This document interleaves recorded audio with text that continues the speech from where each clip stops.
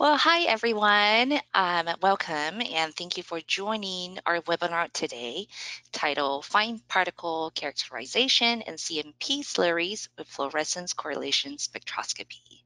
My name is Julie Chen Nguyen and I will be monitoring those questions and comments in the background. We will have a Q&A session in the end where you can pick our speakers' brains all right, so it is my great pleasure to introduce you our speakers today, Dr. Ed Remsen. He's a professor at Bradley University, Mund-Lagowski Department of Chemistry and Biochemistry, and his co-speaker, Tim Holt, and um, he is our applications manager located uh, on the West Coast in Portland, Oregon. Okay, and Tim is going to open. So Tim, whenever you're ready, the floor is yours. Please go ahead and share your screen. Okay, uh, so we'll begin the webinar uh, today. As uh, Julie mentioned, we're looking at uh, fine particle characterization in CMP slurries uh, using fluorescence correlation spectroscopy. Uh, this is Professor Remsen's specialty. Um, so he'll, he'll go through some details on, and some work that he's been doing. And after that, we will um, uh, add a little of our own work, uh, kind of uh, Professor Remsen's work inspired, and kind of a natural extension of that work using some of our uh, metrology tools. Okay, so our presentation content today, it's uh, so it's a potentially mixed audience. So we'll we'll talk a little bit about CMP for those folks who aren't familiar with the application. Um, we'll go into particle size variation. We'll look at a basically a simplified abrasion model. Um, we'll go into our motivation and scope, so more on uh, kind of the CMP relevance, the relevance of the particle metrology. Uh, so we'll look at process variation. We'll look at kind of the roadmap focus for fine particle focus. So we have IRDS and we have a semi-standard.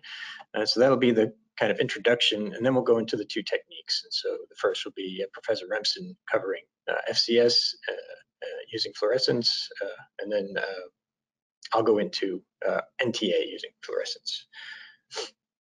And so to start with a brief description of CMP, um, and very simplified here, it's a lot more complex than this, but basically to give an overview for, for those who aren't familiar, um, during our layer by layer manufacturing process in semiconductor devices, we'll, we'll encounter uh, a step in the process where there's uh, a material overburden. So if we look here, it's kind of colored like copper, which is a good example for CMP. Um, so we'll, we'll, start with this overburden material, which kind of protrudes from the surface. Um, and it, it's a polishing step. So it removes the overburden, uh, kind of frees up these features uh, of interest, uh, leaves a nice flat surface, which allows us to continue the process flow and build up the next layers. Um, so if we look a little more closely at the CMP mechanism, um, there's basically a, a slurry which uh, contains liquid, typically water, uh, additives depending on the, the application, which type of CMP we're after, and, and particles. And uh, the intent, kind of the chemical portion of CMP, um, is to chemically modify the surface. So uh, modify the surface that's being actively polished and allow this abrasion to occur. And so we have we have a polishing pad which engages these abrasive particles and kind of drags them along the modified surface and gets us to this nice planarized state. Uh, it's quite a dynamic process. There's, there's, a lot going on here. Um, and but today we're going to really just focus on particle metrology. So looking at these particles. Okay, and this is uh, again very. This is probably uh, an oversimplification, but uh, just to give some perspective, uh, we'll look at this this uh, abrasion model. So if we look at a, a typical particle size distribution, um, we have our, our medium particle size, you know, this main peak here, um, and most of the abrasives that are engaged in the process. So if we look here is a pad and a, and a wafer, so the pad is soft and the wafer is hard. Um, most of the abrasives here are going to be uh, engage in what we'll call the, the normal abrasion, the polishing process. Uh, so these these are you know the, the, majority of the abrasives in in the in the slurry. Um, as we look here, we have larger particles, and these are well well characterized. Uh, the effects of large particles, uh, detecting, characterizing performance, etc. Uh, these typically will cause a scratch on the wafer. You can see, right, if this is our normal abrasion, this is really stands out and will cause a pretty big gouge in the wafer. Um, but what we have on the other side, which is kind of really, oh, I'll say it's kind of neglected. Maybe uh, we considered these nuisance particles in the past. Um, these smaller particles are what we're going to focus on today, and these can be very difficult to measure um, because they're so small.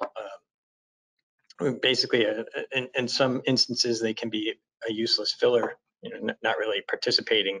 Um, but as we get to smaller and smaller particle sizes and also smaller and smaller uh, features, uh, these may become more important. So if, if the uh, amount of these particles are varying you know, significantly, uh, it can have some impact, uh, you know, basically depleting. If these are large concentration here, we have less of these, and so it can impact uh, some some polishing parameters.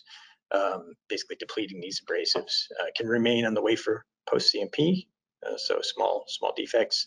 Um, and this high surface area in some formulations, some uh, conditions, you know, we can see this potentially reacting because it's very high surface area reacting with uh, some other additives, you know, kind of in an uncontrolled way. So um, maybe not always a problem in the past, but certainly potential problem as we uh, get to more and more complex uh, features. Uh, so a little more of our, our, motivation and scope. So if you look um, at the basically the supply chain of uh, particles, so let's start with the supplier.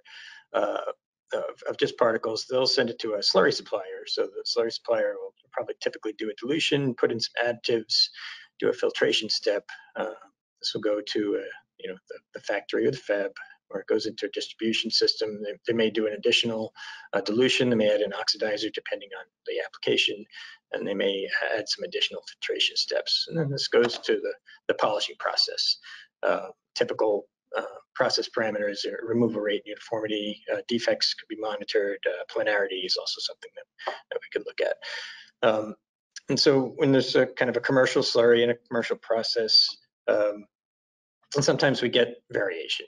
Uh, so if we, you know, if we're looking at a, a, single parameter, we have a specification limit. Sometimes a, a lot of abrasive can be tied to an out of control uh, condition. And this may cause defects, might cause any one of these. Um, so it could be tried back to maybe a slurry lot or maybe even a specific uh, particle lot.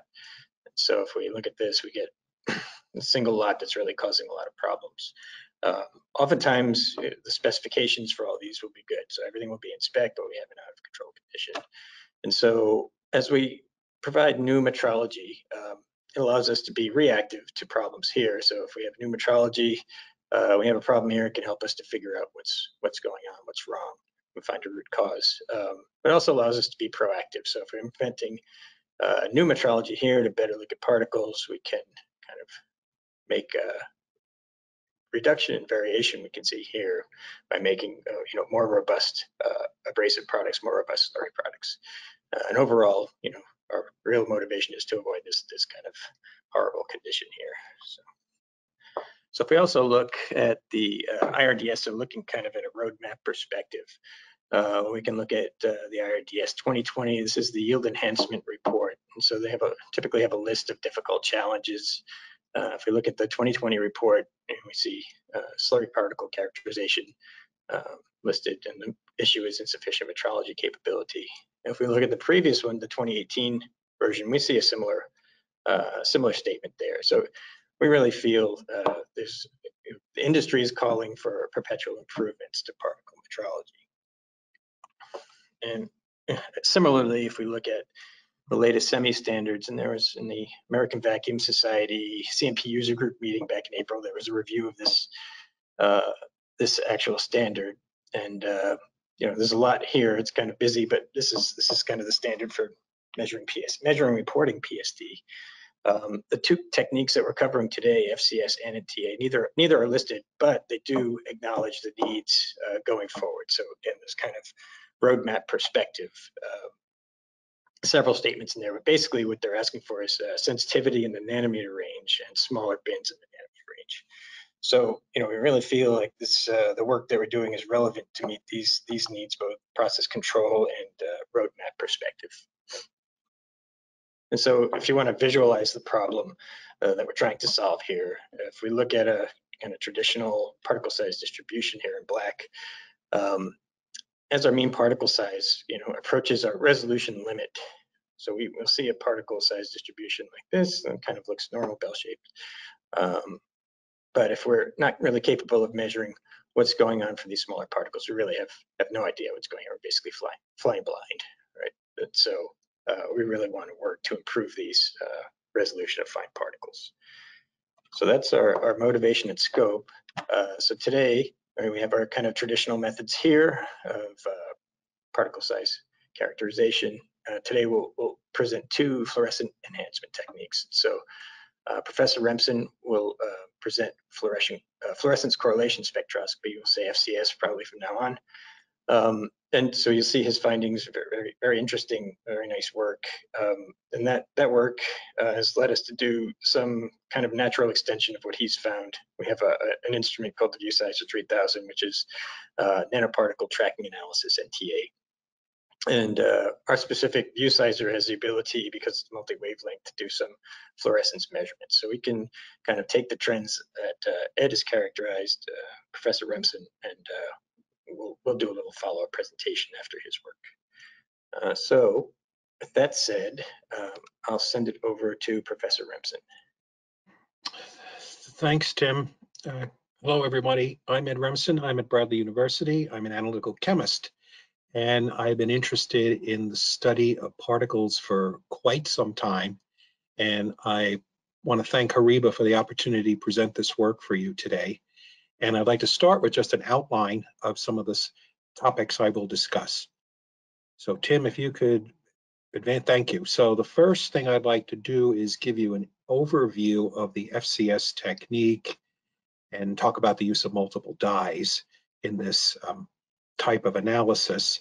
And then move on and talk a little bit about how these dyes uh, are used to generate characterizations of adsorbed silica abrasives, and it, that would perhaps be in a CMP slurry, and then turn our attention to the characterization of the small particle tail that Tim alluded to in his presentation, that being kind of a tough area to do, but a very essential area recognized in the roadmap that he, he presented. And then I think I have one more here that, yeah, we'll do some conclusions and set some directions for future studies. Okay, Tim, if you would. So let's begin at the beginning. What is FCS? What is fluorescence correlation spectroscopy? Just to give you a little historical background, it's, it's a single molecule spectroscopy technique. It did not grow up in the materials world, our world that we're talking about today. It really grew up in the biological world where there was need to characterize proteins, nucleic acid, relatively small macromolecules in solution, and subsequently it translated itself to other fields such as the characterization of colloidal particles that we're discussing here in relationship to CMP abrasives. But before we talk, talk about that, let's consider this thought experiment. So if we were doing a fluorescence study with a conventional spectrometer, what we would see here are the fluorescent molecules all diffusing around inside the focal volume of the of the spectrometer view field, and that's what the little red dots with all the arrows mean. There's a random process of diffusion, and the dotted line would indicate that the diameter of the focal point of the instrument that's observing the solution in, in the sample cell. Well, we're obviously not looking at one molecule at a time here, but we can sort of change the game a little bit if we instead of imaging through a typical fluorescence spectrometer, let's say we use a fluorescence microscope with a high numerical aperture lens and confocally image through a pinhole. Well, now we can reduce that focal volume to a very, very tiny size on the order of about a femtoliter. And now if our solution of fluorescing molecules or particles are on the order in the one to say 10 nanomolar range, what we will see is most of the time that little area inside the dotted, the dashed line will be empty. But other times it will have a fluorescent molecule or particle diffusing through it. So we'll see a burst of fluorescent photons detected, say, with an avalanche photodiode detector.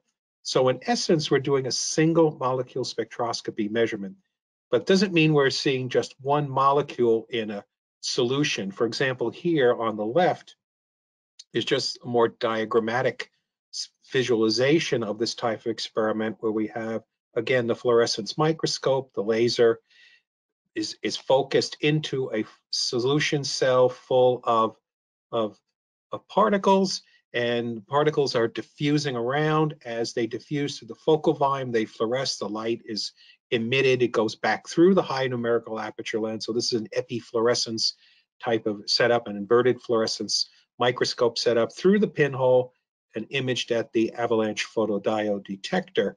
If we look at what's going on inside that focal volume, we see this these two panels on the right where we have the shape of the focal volume, which is roughly elliptical, corresponding to the point spread function of the microscope. And molecules or particles that are fluorescent will diffuse through that volume. And while they're in that volume, they will fluoresce. Once uh, or outside that volume, they will no longer fluoresce.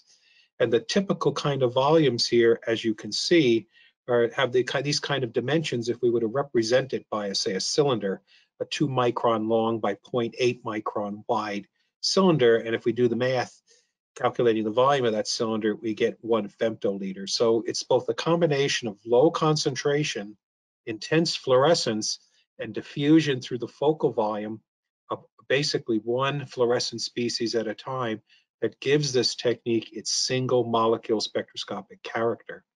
So what do we do with this data? This is all interesting, but how do we analyze it and distinguish one fluorescent species from the other? Again, here on the left, what you see is a head-to-head -head comparison of the focal volumes that, again, and if you had a fluorescent molecule diffusing through that volume, what you would see, because of the small size, a pattern of rapid fluorescent bursts, very, very short time in between.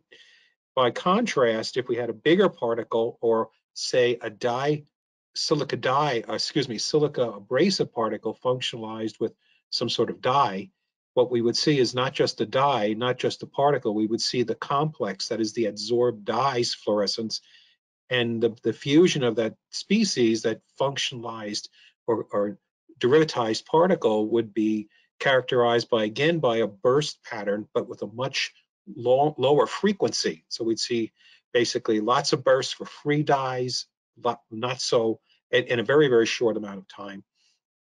Whereas for a bigger species, we'd see very fewer bursts, but but with a much longer separation in time.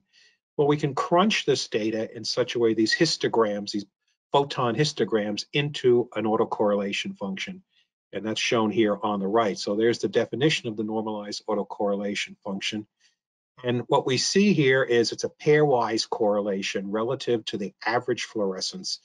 And we generate from these, these, these histograms, we generate two decay curves. The red curve corresponds to the fast diffusers, the small species like a free dye, whereas the blue line, the blue decay curves corresponds to a particle, for example, that is carrying a fluorescent dye attached to it. So it will decay to much longer time, and the time tau on the x-axis is called the correlation time, where g of tau on the y-axis is the value of the autocorrelation. So how do we, what do we do with that? So now we've taken this burst pattern, created these decay curves. What we can do then is actually extract from these decay curves important molecular parameters. So for example, on the left, you see again the two decay curves and the characteristic decay times tau d, and for both the, the small diffuser in red, the big diffuser in blue. They're very different values. The big diffuser has a longer characteristic time we can plug that value into that equation at the bottom, which is the characteristic equation for three-dimensional focal volume inside a solution. The other thing that we get in this equation, notice, is n, where n is there, and it then corresponds to the average number of fluorophores in the focal volume.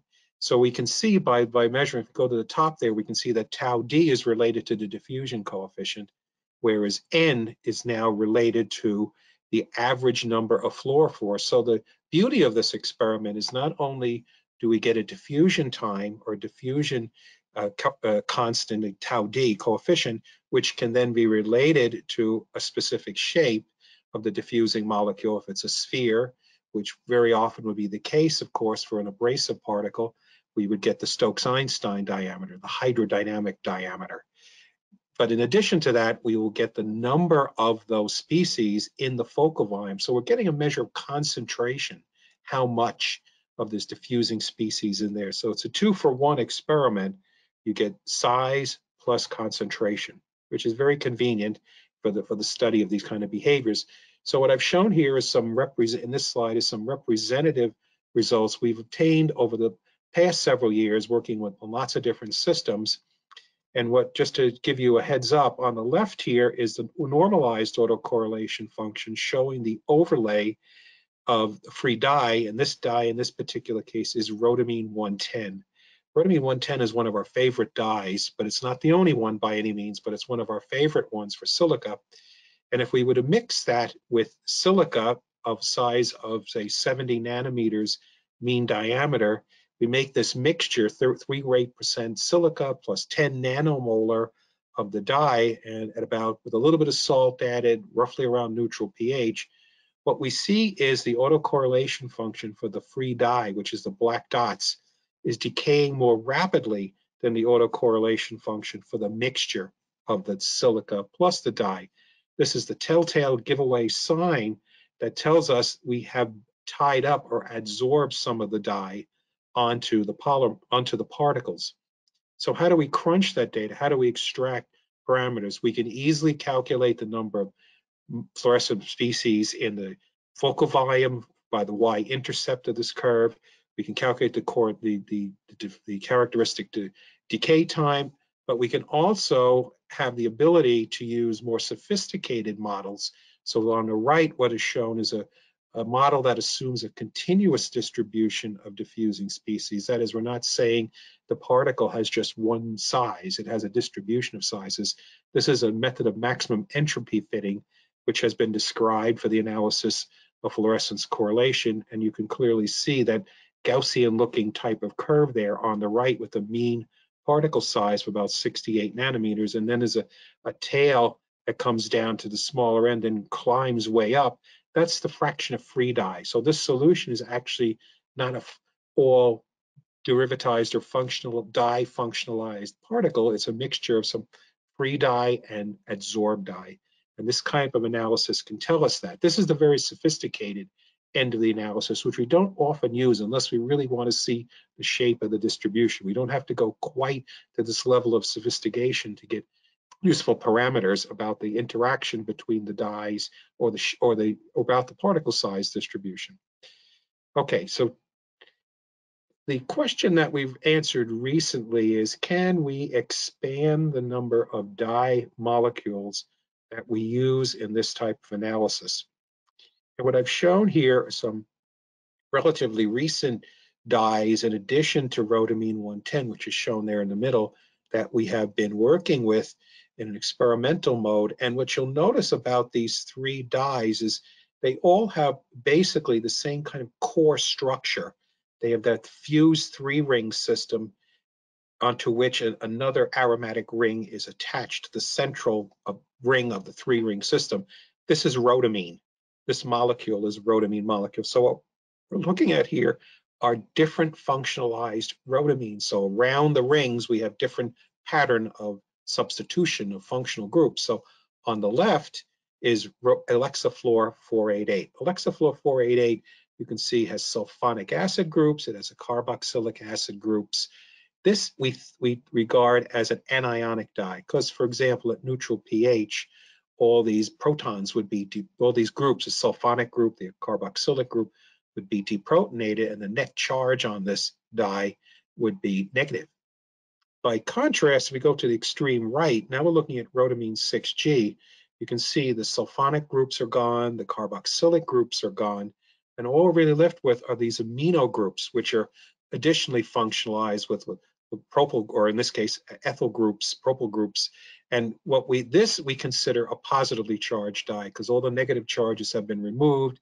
So you might think right off the top of your head if you had a negatively charged particle like a silica particle, say at neutral pH, this would be a dye, rhodamine 6G, that would have a very strong affinity or adsorption to that surface, where by contrast, the Alexa 488, perhaps because of the presence of all those negatively charged functional groups on the ring would have a much weaker adsorption.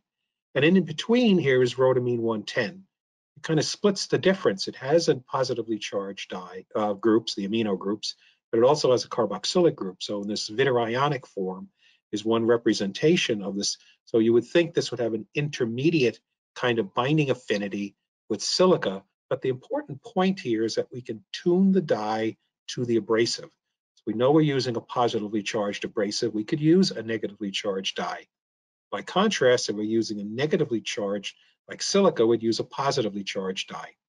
Okay, so the key here we wanted to establish in this research, could we use these dyes interchangeably? And that brought us to the actual measurement of these dyes themselves. And what I've shown here is an overlay of the normalized autocorrelation functions, FCS autocorrelation function of a constant concentration of Alexa 488, rhodamine 110, and rhodamine 6G. You can see the curves, the decay curves all lay right one on top of each other. What this tells us is that the hydrodynamic diameter of these free dyes, this 10 dyes in 10 nanomolar solution, are all just about the same. And if you do the calculation based on a Stokes-Einstein model, they come out at about a spherically equivalent diameter of about 1.2 nanometers. So that's the low end, as low as it goes, is 1.2 nanometers. But that leaves a lot of room above, all right? So we're talking about 10 nanometer particles. We have nearly a tenfold excess in size relative to the free dye. Okay, so let's step forward here. And here's, we start looking at some examples. Here's the, the, the absorption or the FCS curve where we have adsorbed Alexa 488 on a PL2 uh, sol gel high purity silica. And we can see we're using about five nanomolar of the dye, five weight percent of the PL2. Recall that the dye is has this negatively charged it's negatively charged. This is again just just under about pH seven and a half. So what we see here is again in black dots, we see the autocorrelation function for the free dye. When we make the mixture, let it equilibrate, which is very quick, we see the red decay, which is doesn't look like it's very much bigger in size, but this indicates to us a much weaker adsorptive interaction between the particles and the dye. In fact, in a minute, we'll see the resulting molecular particle size distribution analysis. If we step forward, what we'll look at the next dye, here's rhodamine 110. We looked at this as an example earlier, previous work. Again, under the same conditions, 10 nanomolar, same particle, much, much stronger binding. We see the decay curve, the autocorrelation function for the mixture is decayed with a much longer characteristic decay time than that of the free dye, indicating a much stronger interaction, which is kind of what we predicted. We have less negative charge on the dye. Okay, we'll take one more step forward here. Now we look at rhodamine 6G. Remember, rhodamine 6G was the dye we posited that would be the strongest binder, a positively charged dye. Very clearly see, again, that, that red curve has shifted to much longer time than the, the, the, there's the pure dye. And in here, in fact, we're seeing what looks like, you know, the presence of multiple multiple curves overlapping each other. In fact, we're probably seeing not only just the, the monomeric form of the silica, we're probably seeing dimers, trimers, or some sort of aggregates or agglomerates of the particles as well. So the, the takeaway from the comparison of these three different cases is that we can tune the, again, we can tune the adsorptive event to the particle by choice of our dye. So now let's take these data, these autocorrelation functions, and reduce them to, to numbers, useful numbers that describe the particle size distribution. So again, here we have black, red, and blue. We have the three different dyes. And what I've done here is I haven't done a continuous fitting model here. We've done a much simpler fitting. We've done, we've assumed that the, the actual distribution can be represented by a two component fit that is free dye and bound dye or adsorbed dye. So in that simplest approximation, we very clearly see if we look at the diameters here, what we, we see right away is that there is a, at, at for Alexa 488, we see a diameter of about five and a half, six nanometers. That's bigger than the free dye itself. The free dye is about 1.2. So what we're, we're learning here is that the dye has a specificity for the smaller particles. Now, again, the, the, the, there's a significant amount of free dye here, 84% free dye. So that other 16% is bound and it's bound to the smaller particle part or fraction of the the distribution, which is kind of interesting. So we've tuned in to the smallest particles. If we jump to rhodamine 110, now that longer decay curve is giving us a size that's much more characteristic of the mean size of this particular uh, silica. We jump to about 57 nanometers with about little less, maybe a little less free bound dye. And finally, if we go to rhodamine 6G, now we're starting this, we jump up to 71 nanometers, which is the width as the size of the bound fraction, the, the particle plus its bound or adsorbed dye. So now we're sampling a lot of much, much more of the particle size distribution in addition to species that silica species that are not just perhaps one individual particle, but perhaps dimer, trimer, tetramer clusters of, of, of the particles. So the, the FCS technique gives us this ability to kind of pull apart the distribution in terms of sizes and surface chemistry.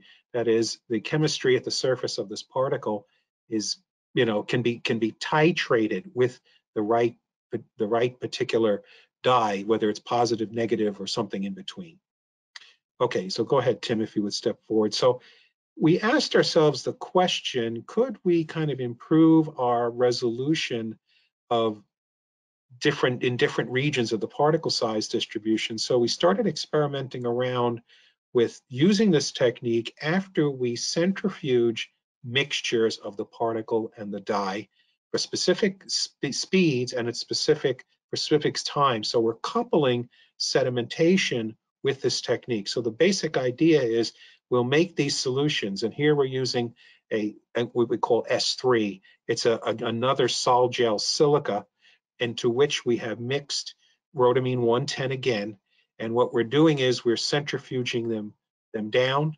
And what we, you show here is an overlay of the normalized autocorrelation functions and at a constant rotor speed. So this is just a laboratory microfuge which is operating at its top speed of 14,500 RPM, and we're centrifuging as a function of time. So the experiment I want you to imagine is a one milliliter solution in a centrifuge tube, which is which is a mixture of the, the dye and the silica, which is centrifuged down for this amount of time at this rotor speed.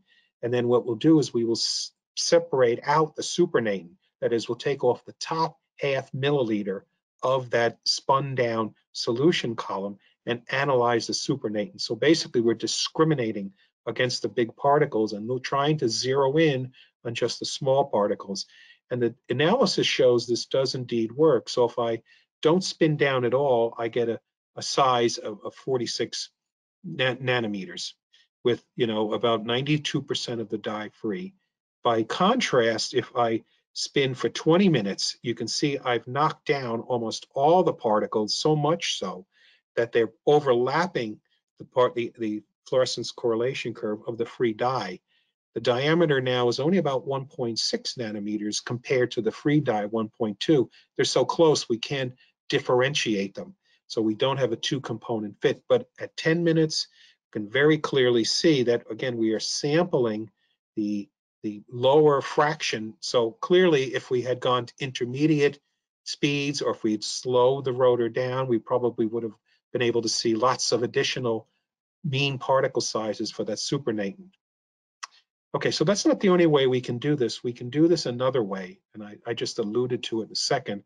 What we can do is we can spin for a fixed amount of time, in this case 60 minutes, and we can run at different rotor speeds. So again, same experiment, one milliliter centrifuge solution column that's spun down, mixture of the dye plus the R-rhodamine 110 plus the particles.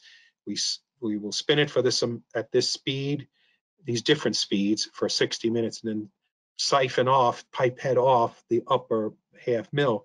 And once again, if we look at the comparison of the autocorrelation functions, you can see at 2500 RPM, that is low speed, low field, we have dropped the particle size from about 50 nanometers down to about 41.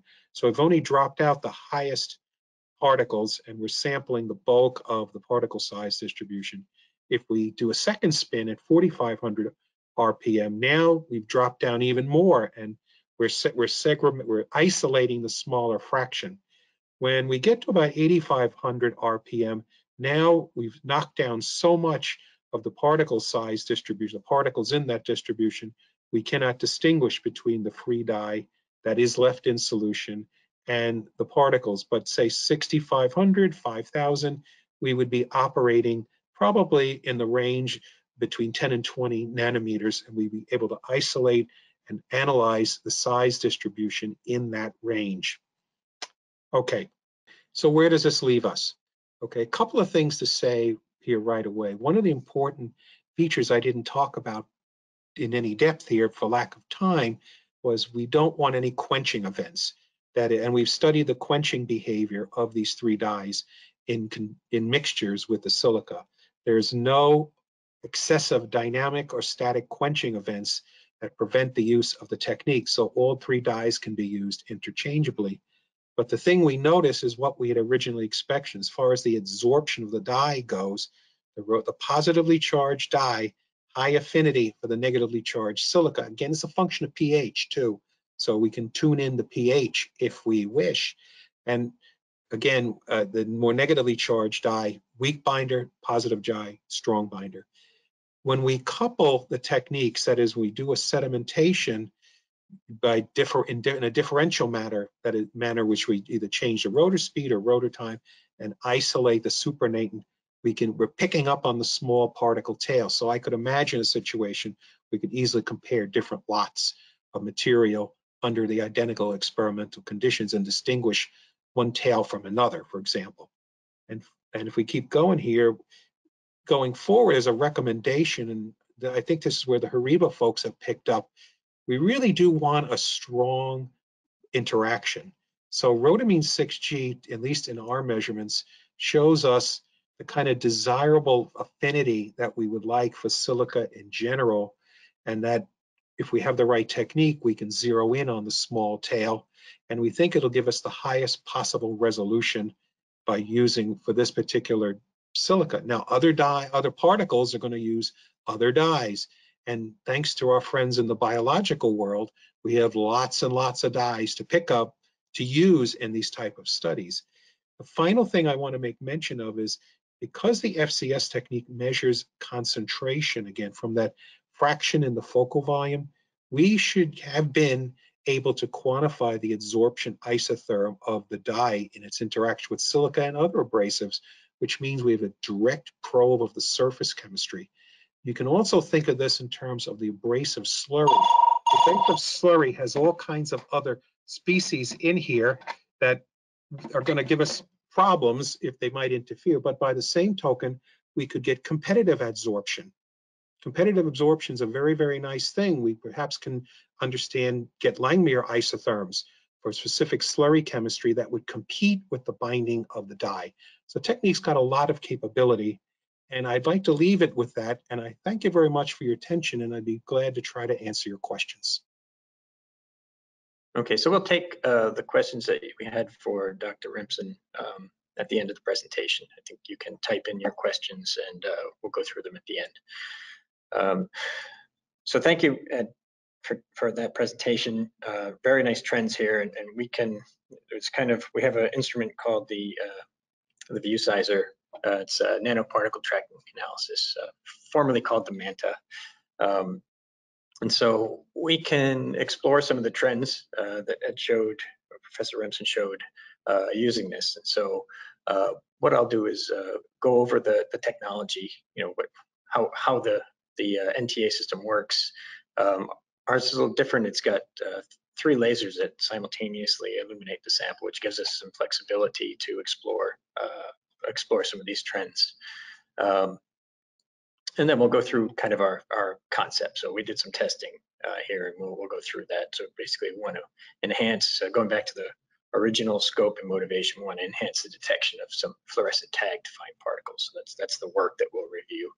Uh, so we'll look at uh, suitable particle and dye. You can probably anticipate what that dye might be uh, based on uh, Professor Remsen's work. And then we'll show a small series of experiments we did um, to have a look at the, these interactions and our ability to measure the finer particles. And then we'll go through conclusions and directions for our future studies.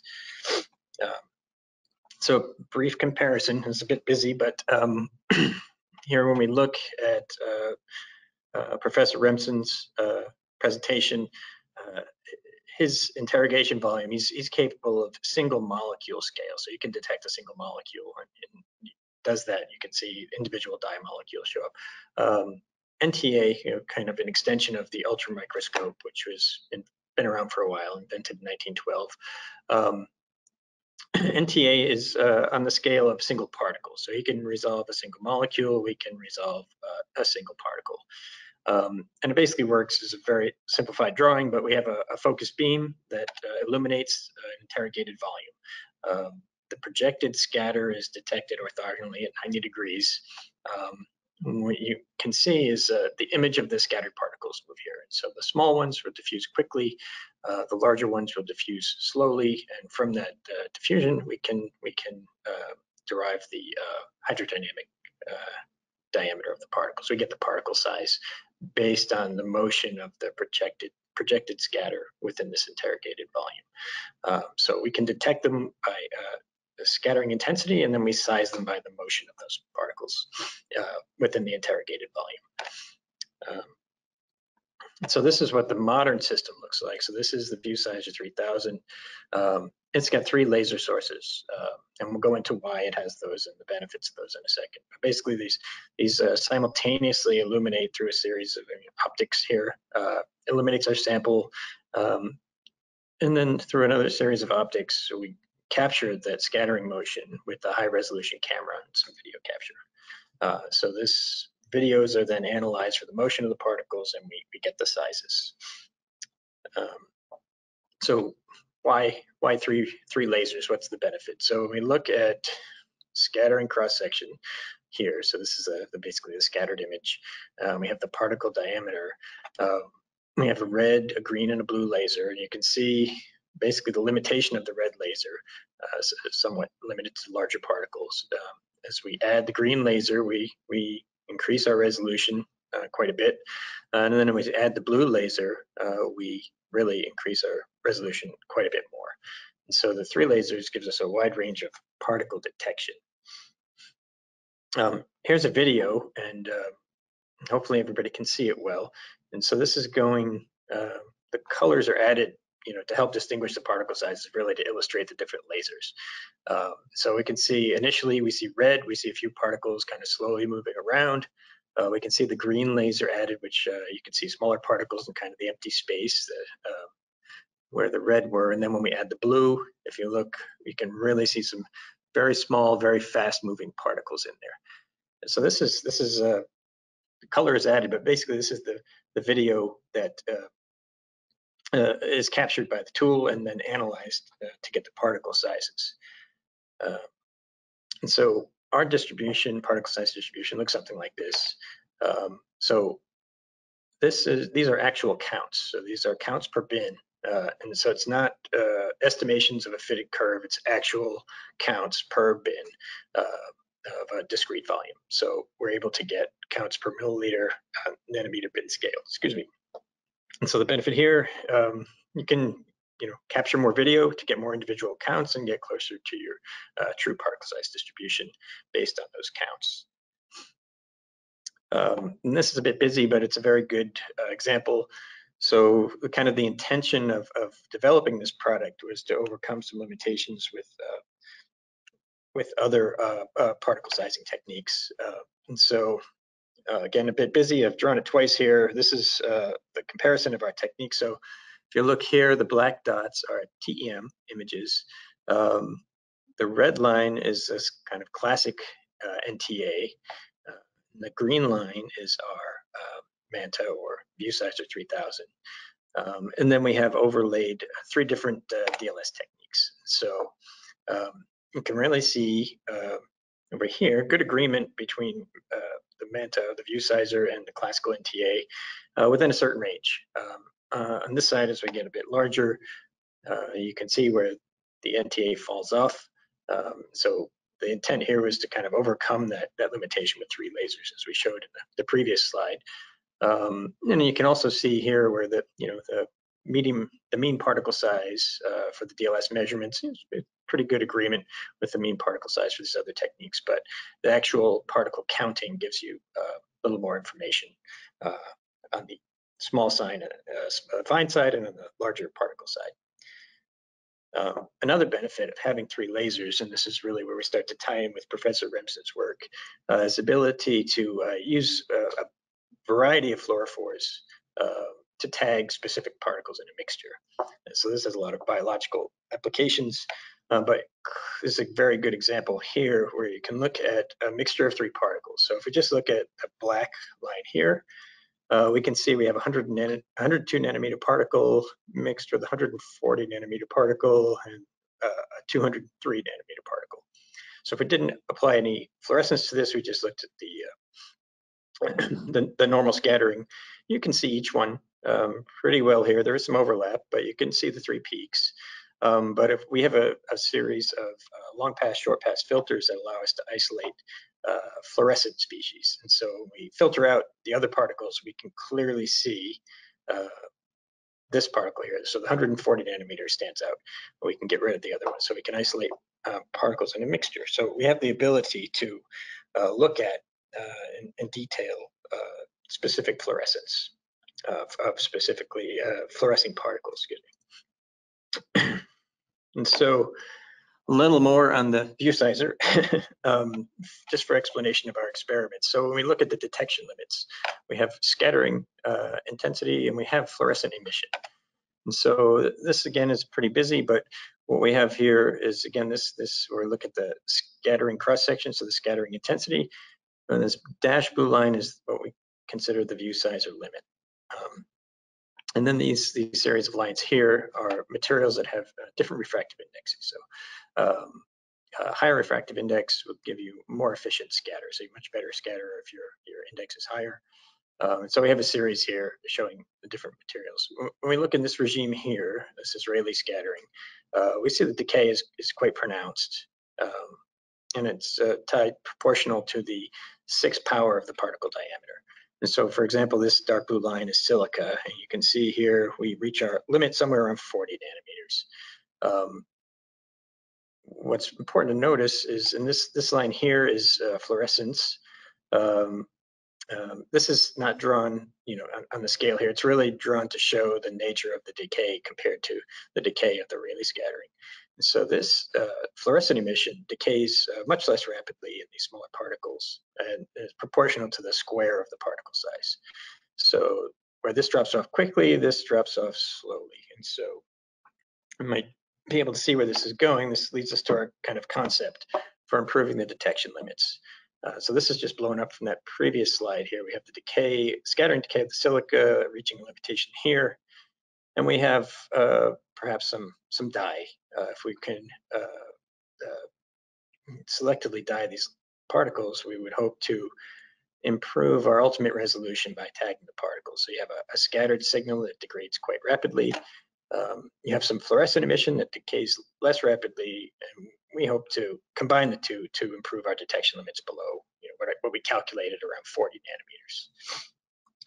So that's a, a good setup. Um, and so we did some experiments and we found a, a colloidal silica that we think would be uh, challenging right for the for the uh, the ViewSizer itself. Um, the mean particle size is um, somewhere around our resolution limit.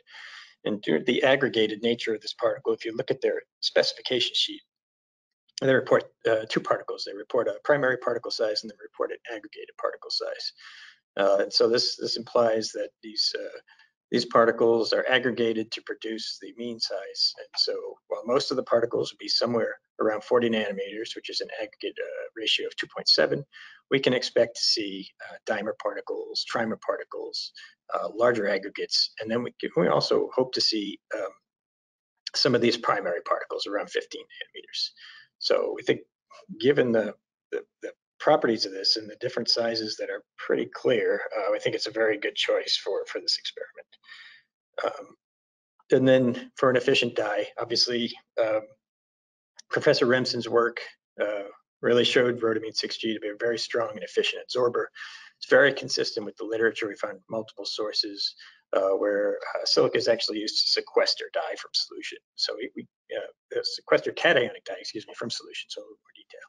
Uh, so between those, you know, we, we, felt that rhodamine 6G was a very uh, good choice as well. So we'll go with, uh, we, we, went with uh, uh, Fuso PL1 as our as our colloidal abrasive, and we went with rhodamine 6G. so we got those two materials to Carl, our applications engineer down in the Irvine lab. Um, and he started working. So we got some kind of initial condition recommendations from Professor Remsen.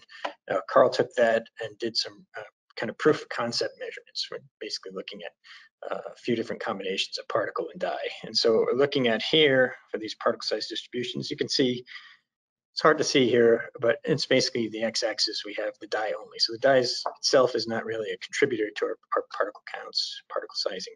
Um, then we have the particles only, um, here. And then when we added the dye to the particle, so adding these two together, we got this result. And this was this was we expected to see something, but we didn't expect to see something this this clear and pronounced. So you see the huge shift. Uh, you know, counts are, are much much higher.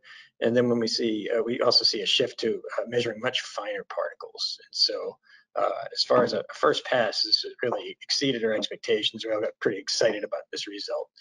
Um, there are a few um, few little things that we wanted to uh, understand a little better here. So this particle size distribution didn't really fit what we expected. If you look at the specification sheet for the the uh, mean particle size, what we're looking with is this this turned out to be quite dilute, um, uh, uh very dilute sample of the silica. And we added the dye, we definitely saw some particles, but we wanted to understand uh, this regime a little better. And so we did uh, some follow-up experiments. Uh, one of them was to optimize the dye to silica ratio. And again, a little busy here, uh, but when we look at uh, the black line here, well, again, first you can see the dye itself, the dye solution that we use is not contributing uh, anything significant to the distribution. Uh, when we look at the particle itself here in black, you kind of see um, particle size distribution closer to what we expect. Um, the orange line is, is relatively high dye concentration. And so we, really don't see much difference between the, the particle and the high dye concentration. Uh, and then we get to the blue line. So this is kind of mid-level uh, dye, and we really consider this to be optimized.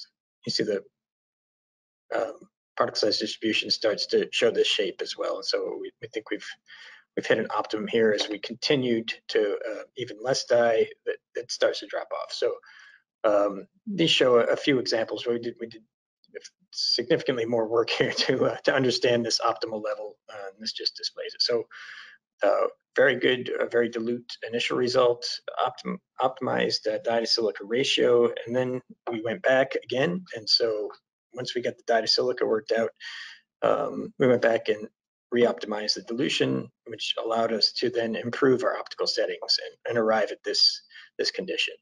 And so we're very happy with this one.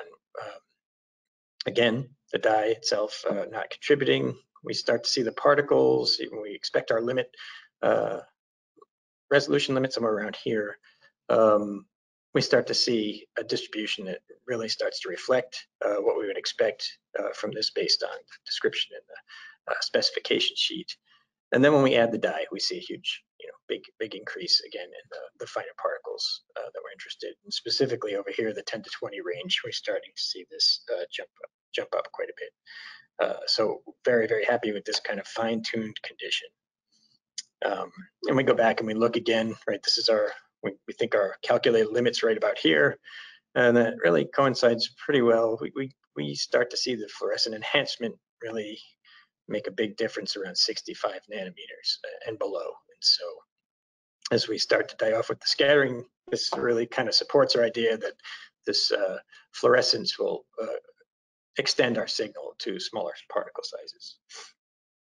Um, and so we looked at a lot of distributions uh, just to be clear, uh, maybe give a, an illustration of, of, of, what we did. So we, we started with our standard process where the fine particles are poorly detected. What I've drawn here is you know, this kind of looks like the scatter you would see in our, our video. It's, it's this is fixed, but uh, and I've drawn the yellow lines to show that we've we've uh, tracked it. So the the, the um, software has picked up the particle, the movement of the particle, tracked it, and then can size it. So we see some of the larger particles have been uh, tracked here, but we also see some of the fines not tracked. This is basically an illustration of our standard process. When we, when we added the dye, everything was pronounced, right? So our counts went very high, and then our, our fine particles also went uh, quite high. Um, but we had so many particles in our, our, interrogation volume that we had to do some uh, further optimization to dilute these to move the particles apart a bit so we could actually uh, trace these these smaller particles. So these are quite fast moving. If there's so too many particles in here, you kind of lose the ability to to resolve these. And so um, this this uh, subsequent uh, dilution and then fine tuning of the optical uh, parameters to make these stand out a little bit more. Once we could see them, we could we could optimize for them a little better. And so we went from this condition, uh, dyed, uh, and then diluted and dyed uh, to get this this measurement that we have now. And so in summary, um, you know, pretty much when we've, when we've got our dye concentration right, anytime we put the dye in, we really see a significant increase uh, in the counts when we look at PL1. Um, and we definitely can see, uh, certainly in this regime, we see, we see an increase across here, but really here we see a, a, significant increase in the counts. And that's close to where that, that monomer, that 15 nanometer particle that we're hoping to see is. So this data really supports that, that uh, concept that we had. Um, so we're seeing this consistently, which leads us to a lot of opportunities to follow up. Um, just like Professor Remsen was saying, uh, more dyes for more particles, um, different types of particles. We have our, this uh, rhodamine 6G kind of coincided with our green laser, um, but because we have uh, three lasers, we can we can look at blue blue fluorescent and red fluorescent dyes as well. Uh, we could look for lot to lot. If we had multiple samples of this, we could see if this is uh, showing up, this is changing much, or if this is kind of a constant in this, this uh, particle type. And then um, the process for complex slurry formulation. So this is simply particle, water, and dye. Um, it's a very simple system. Uh, I think with some additives that go into a lot of slurry formulations, surfactants, uh, etc. Um, we need to understand how to dye these effectively and, and, and understand what's going on with the uh, competitive adsorption, for example. Um, but you know, overall, uh, very pleased with this result and uh, we're happy to share it today.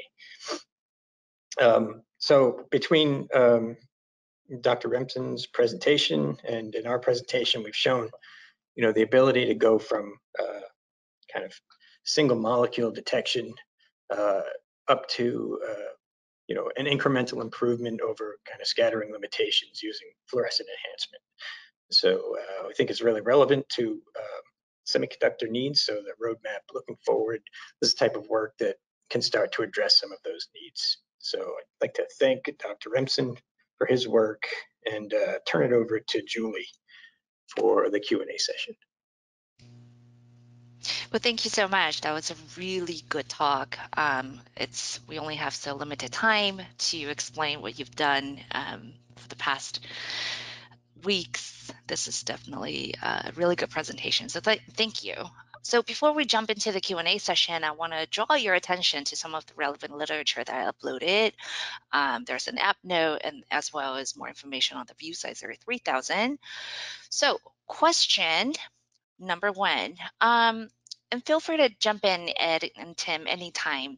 Um, what are some problems of different additives and media background? Can you comment on that? Well, one thing to think about here again is that Tim mentioned it too is a competitive adsorption issue. So we know the dye has probably certain an affinity for certain sites on the particles. But at the concentrations perhaps that one would use in formulating a slurry, you know, adding corrosion inhibitors or rate accelerators or variety of things that are used in CMP slurries. And it seems like they get even more chemically complex every year to tune the slurries to specific polishing requirements.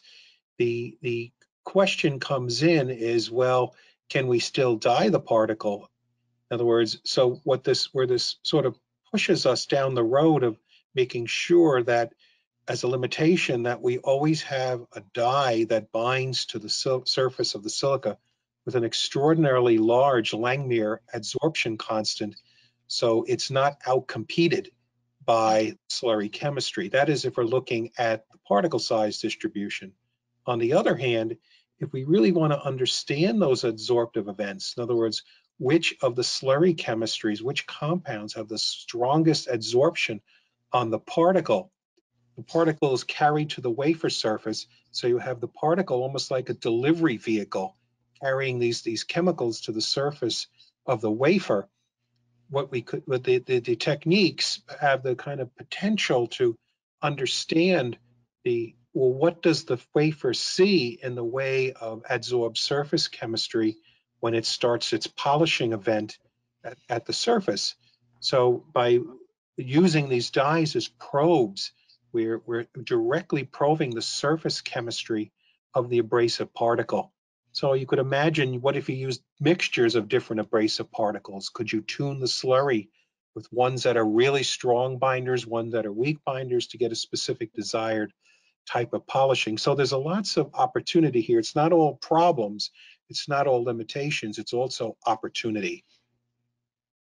Thank you. Um, second question, and also can I ask that you turn on the camera so we can see you? It's I think our audience definitely Sure. prefers to see you than me. okay, now thank you. the next question: Instead of silica particles, um, have metal particles been tested? Not in my lab.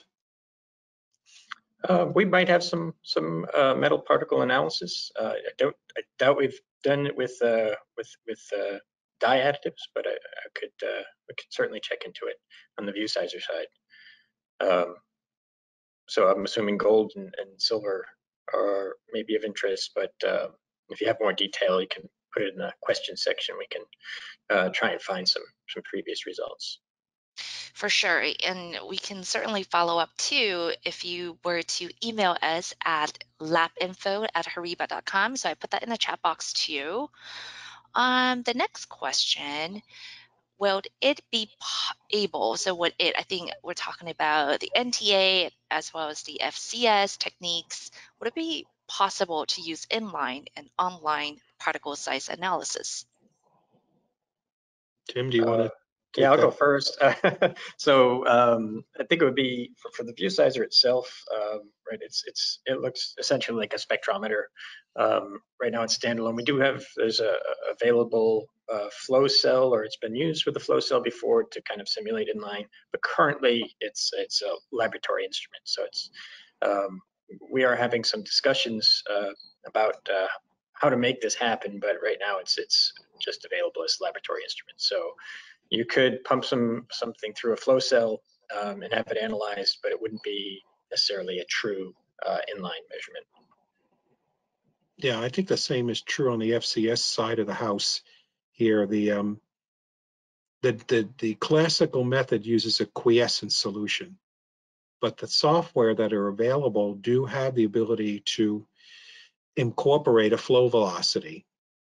So we've seen this in a number of vendors. So the answer to the question is in principle, yes.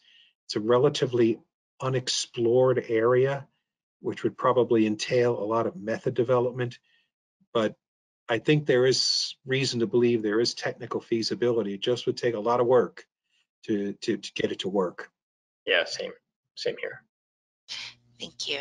And then we'll just do one more question as we need to honor your time. Have you tested natural particles in surface waters? Yeah, like you're thinking, um, hmm, well, proteins are the classical, you know, kind of, but yeah, people have done hydrogels, uh, all kinds of polysaccharide type of particles, uh, core shell type of particles. Again, it, these techniques really don't discriminate against one particle versus another as long as you can dye it with the fluorescent, with the fluorophore. So there's a wide range of materials outside the normal silica abrasive, metal oxide abrasive, nat, if you, what you, if that's what you consider natural particles. You know, Yeah, par- the, I'm sorry. Go ahead. Go ahead. No, So finished, the, the ViewSizer side, um, you know, operates without dye uh, as well, and uh, um, as long as it scatters uh, sufficiently, we can detect it and track it. So I'm not sure what the natural particles are either, but um, certainly if they're big enough and they have a, a refractive index that scatters, we can we can probably measure them. And I'll add that um, with the ViewSizer, some of the common applications may be vaccines, maybe lipid nanoparticles. Um, so these are some of the biologics materials that we commonly seen here in our lab. Okay, uh, one last question and I'll wrap it up, I promise. Um, were the solution buffered? If so, what did you use? Not, we have used buffers in the past. We have, we didn't use any buffers in this. We've generally use dilute buffers like two molar phosphate or two molar tris, millimolar, excuse me, millimolar. So when we use buffers, again, we don't want the buffer salts to outcompete the dyes for the surface of the pop, but we have used buffers and they can be used, you know, in these particular examples, we did not. These were self-buffering. You know, the particle solution itself as received was buffering itself. Yeah, same. We didn't we didn't use a, buffer. We discussed it quite a bit, um, the, the, use of it. So the buffer would suppress the double layer, and maybe lead to a different uh, different type of interaction uh, with the dye and the particle. So if you, really suppress the, the, double layer, you go from electrostatic uh, to an instance where you might get some hydrogen bonding, um, and and the efficiency uh, was was probably a little more complex than we wanted to address at this point. So um, we opted to not use a buffer in this case, but we like like I said, we have we have uh, we have used buffers in the past, uh, and I think I think they yeah. were just fine. Yeah. Yeah, yeah, I would agree with that. Remember, we're using buffer when we have used buffers. We're in the millimolar range. The dyes are in the nanomolar range. We have a million fold difference in concentration, which means the adsorption of the dye is many orders of magnitude stronger than yeah. that of the, the buffer salts. Yeah. Yep. So we, I think one of the examples was the, we were considering using Nile red, uh, which wasn't a cationic dye. And I think Ed, you had some success with that in the past. And we, we I think the right. assumption was the hydrophobic was, dye. Yes, but it, was hydrophobic. Yeah. Yeah, we thought it was uh, maybe hydrogen bonded uh, to right. the surface uh, not necessarily yep. So we, we, for simplicity's sake and to kind of do a uh, our, our, analysis, we, we opted to to keep a, a, very pure particle, and not so this particle is not even sodium or potassium stabilized. So uh, certainly we could do it, I think, without any problems. Agreed. Thank you. Well, it's been such a pleasure working with you, Professor Remsen and, and Tim. Um, so for now, everyone else, please don't hesitate um, to reach out to us. If you can think of any questions or comments you want to share at labinfo.horiba.com, make sure you join our newsletter by answering yes um, to the post-webinar survey or just simply connect with us on LinkedIn. It's the Particle Characterization Group. For now, have a great day and we'll see you at our next webinar on July 13th. We'll switch topic over to data interpretation. Alrighty, thank you so much. Bye everyone.